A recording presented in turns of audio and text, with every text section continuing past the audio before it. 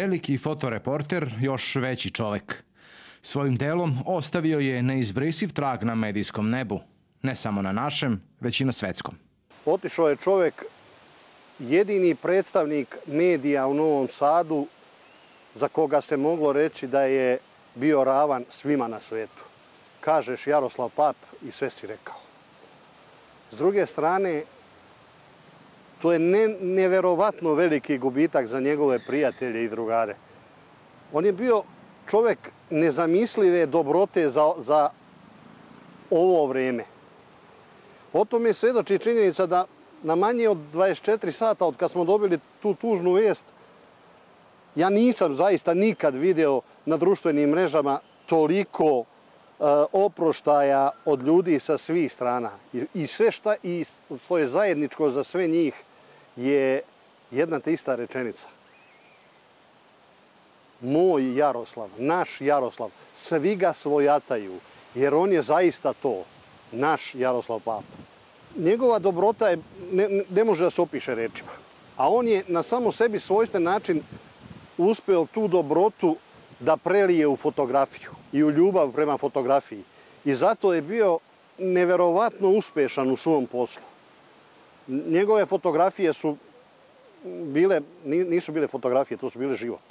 I on, on je znao da prikaže sve ono što je fotografisao na neki način plus da je drugačiji od ostalih. I uvek je težio savršenstvu. I ono što je za mene bilo fascinantno, uvek je znao kako da dođe do tog savršenstva. Omiljen među kolegama, zaljubljenik u prirodu, profesionalac oštrog oka, čije su fotografije objavljivane u najeminentnijim domaćim i stranim časopisima. Njegovim odlaskom profesija doživljava ogroman gubitak. Mi nismo svesni još koliko je to, još smo veliki šok među svim njegovim prijateljima. Krug njegovih prijatelja ogroma, od ljubitelja fotografije zaljubljenika u prirodu, lovočuvara, šumara. Mislim, stvarno je čovek bio omiljen gde god se kretao, jer su svi u njemu prepoznavali tu njegovu ljubav, dobrotu, plemenitost. Možda jedna anegdota kada smo radili poplave, bilo je zabranjeno da ulazimo u neka pre područja kada su šumari shvatili da imaju posla sa Jaroslavom, koga nikad nisu lično znali, nego samo po njegovom imenu. Odjednom je bila neverovatna transformacija.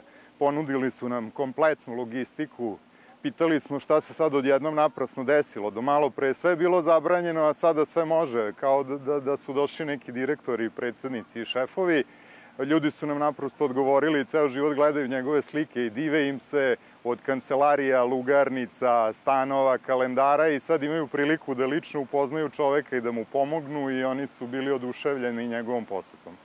Tokom bogate karijere prošao je mnogo, Fotografisao je ratne dešavanja, brojne svetske lidere, a gotovo četiri decenije svakodnevno je pratio i beležio sve druge događaje od onih lokalnih do međunarodnih.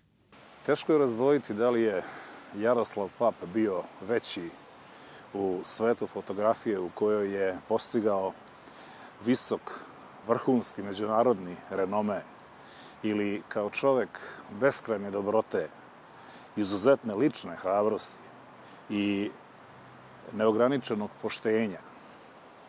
Zato je i u jednom i u drugom njegov odlazak nenadoknadiv. U svetu fotografije, naročito fotografije prirode, niko ne može da zauzme njegovo mesto. I danas, posle 30 godina, kao nadrealna slika Don Kihota i Sanča Panse, javi mi se scena kad Jaroslav Pap i Toma Peternek u jutarnjoj izmaglici idu na prvu borbenu liniju Vukovarske operacije. Tamo gde niko nije smeo i tamo gde se zaista rizikovala glava za dobru fotografiju, za vrhunski snimak, za ono što interesovalo ceo svet. Zato sam i napomenuo da je Jaroslav bio čovek neograničene lične hrabrosti, koji je zasluživao svako divljenje. Ipak, njegova prva i prava fotoreporterska ljubav bila je snimanje prirode – Ekskluzivna monografija Vojvodina četiri godišnje doba, gde se majstorski poigrava sa prirodnim bogatstvima ravnice koju je beskrajno voleo, ostaje uspomena na velikog profesionalca. Kada su radili davnih dana jedan film o Jaroslavu Papu, onda su ga pitali, gospodine Pap, koliko imate fotografija Jelena? Jaroslav kaže, imam deset komada. I sad ovi zbunjeni svi iz ekipa kaže, samo deset. Ne, kaže, ja imam više od desetak hiljada, ali imam deset dobrih. I to bi možda moglo da oslika kakav je to bio čovek, koliko je bio posvećen poslu, koliko je bio samokritičan i koliko je voleo svoj posao. Jaroslav je jedan od nekoliko ljudi na svetu koji e, ne ume da gleda na sat, e, ne ume da gleda u kalendar, nikad nije rekao neću, ne mogu, e, nije vreme ili loše je vreme. Čuveni Jaroslav Pap, ime koje će još dugo odzvanjati medijskim nebom. Jedno je sigurno, snimanja bez njega više neće biti ista.